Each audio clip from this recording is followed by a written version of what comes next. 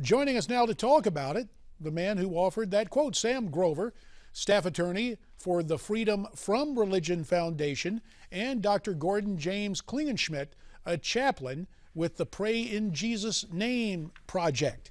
So, Sam, why did your organization get in this fight? Well, thank you. Good morning, Congressman. Can you hear me? Uh, yes, uh, we can hear you. Yes. Oh, fantastic so much. Your, your connection is breaking up a little bit on my side, but thank you for covering this important story about the Navy removing Bibles from Navy Lodge hotels.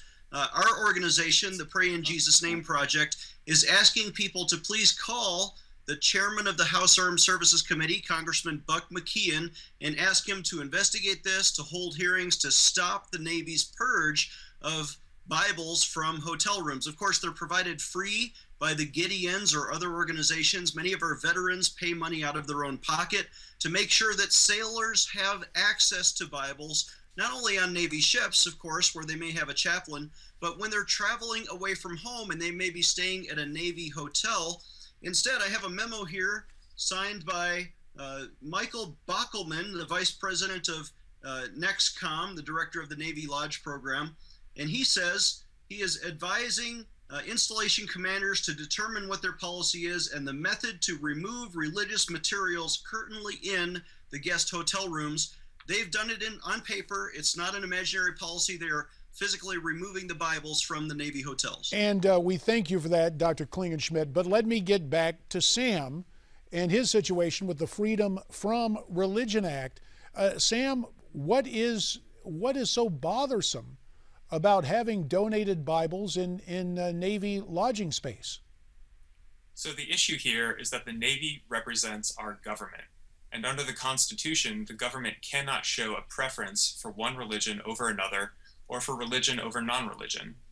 Uh, we received complaints from a couple of our members who claim that in over 20 plus years of service in our U.S. military, in every Navy lodge they've ever been in, uh, there's only one religious text in those hotel rooms, and that's the Bible. This shows an impermissible preference for religion over non religion by the Navy.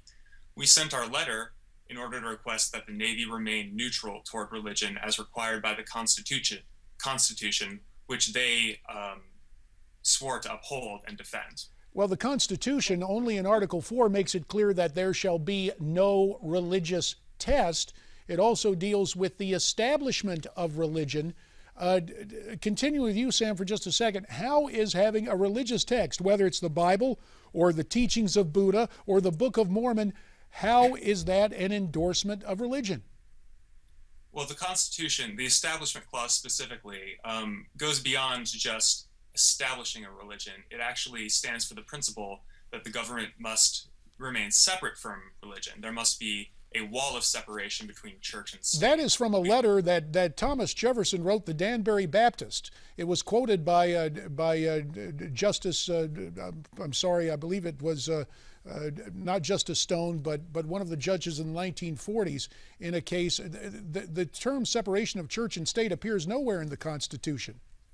Well, if our rights in this country were limited to the literal phrases in the Constitution, we wouldn't have um, right to a fair trial. We wouldn't have uh, the we wouldn't have a, a variety of rights that we do have in this country because the Constitution is interpreted by the Supreme Court. And fortunately, the Supreme Court has interpreted that we have a freedom from religion and government in this country, which helps to preserve the freedom of religion. And, and thus, thus the name of your organization, Freedom from Religion. Let me bring in the chaplain again, uh, Dr. Klingenschmitt. Uh, you've listened to some of this back and forth. I'm just very interested. You're, you're a former Navy chaplain. Uh, yes. Is there something you mentioned writing the, the chairman of the of the uh, House Armed Services Committee? What other action should be taken or will be taken, either in court or elsewhere, on this? Well, thank you. First of all, our thanks should go to our sailors in uniform and uh, soldiers and airmen and Marines who sacrificed so much to defend religious freedom for other people, and now they're being denied the freedom of the press for themselves. You know, the uh, with all due respect to my opponent here, uh, there are domestic enemies of the Constitution who hate the First Amendment, who hate freedom of the press. and they want to ban Bibles, or maybe they're going to do a book burning next. Here's a quote from a maid who was told by the Navy admiral We were told today, 23 June, that due to a new policy from Admiral Robert Bianchi, we were to remove Bibles from the rooms. They told us to put, bo- put them in boxes where they would be taken to a donation center somewhere. So instead of doing something positive, maybe they the atheists would print their own books, or maybe they would uh, allow Muslims to print the Quran. Or I know in Marriott hotels, sometimes the Mormons provide a free copy of the Book of Mormon. Instead of doing something positive like that, they want to forbid us from exercising our freedom of the press and giving away free Bibles paid for by the Gideons. I pray that everybody donates to the Gideons this week. And I also pray that you will call your congressman uh, or particularly the chairman of the House Armed Services Committee, Buck McKeon.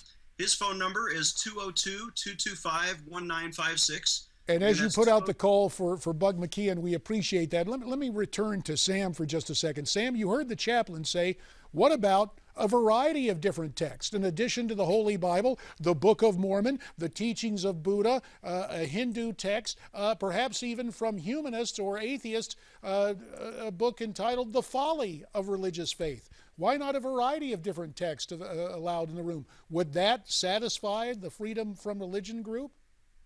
So uh, this is not about freedom of the press. This is about the Navy showing a preferential treatment to the Bible over other religious texts. And actually, in our letter, uh, the Freedom from Religion Foundation did offer to donate the Skeptic's Annotated Guide to the Bible uh, to be put in hotel rooms alongside the Bible. Instead, what the Navy has decided to do is to remove the Bibles from the hotel rooms with the assist- assistance of the uh, Navy's chaplaincy offices. And at that point, the individual on base chaplain offices are going to decide how best to deal with those Bibles. Uh, let me turn to Dr. Klingenschmitt, a former Navy chaplain. Dr. Klingenschmitt, uh, our president constitutionally is also our commander in chief. Could he move with one of his vaunted executive orders or just a direct order to every branch of the military, including the United States Navy, to stop uh, pulling religious texts and Bibles out of their lodging uh, quarters? Absolutely, he could. But the problem is, President Obama's track record has been anti Christian in so many ways. They're purging religious symbols from veteran chapel buildings under repeal of Don't Ask, Don't Tell. The president has forced military, military chaplains to facilitate homosexual marriages and turn over the keys to their Protestant chapel or even the Catholic chapel, so the altar can be desecrated in all 50 states with these, uh, you know, uh, ceremonies that don't celebrate Christianity. Uh, they're consistently moving against military chaplains like me who want to pray in Jesus' name. The, their spokesman has been threatening court martial for any soldier who talks about Jesus. At the Air Force Academy, they threatened cadets and they erased their whiteboards because they printed Bible verses on the whiteboards in their public space. They're purging freedom of religious expression, and I think that's the atheist ma- mantra: is is we don't want to express our religion because we don't have a religion. Therefore, nobody else can talk about Jesus. Nobody else can print the Bible. You must ban religion. Well, that's imposing a secular anti religion on the rest of us, and they're the ones violating the separation of church and All state. right, Chaplain, let, let's let Sam get the last word in, and I'd like a comment on this, Sam. What is the long term goal? If, if it is to, to eliminate expressions of faith and religious text. Uh, do you want to see the elimination of chaplains of all faith from military service? Uh, our goal at the Freedom from Religion Foundation is to have a government that remains neutral towards religion. Uh, and by neutral, does that mean absence? Should there be an elimination of this? Christians have for a long time experienced a uh, certain uh, protections in this country that go above and beyond what the Constitution provides simply by being the majority faith in this country. They have experienced religious privilege. Uh, again, my question equality. is do you want to see chaplains of any faith or all faiths eliminated from the military, Sam? Oh, no, the chaplaincy program is um, provided to our military members. Fair Over enough. 24%. We appreciate that. We're up against the clock to you both. We thank you for your time, and we'll continue.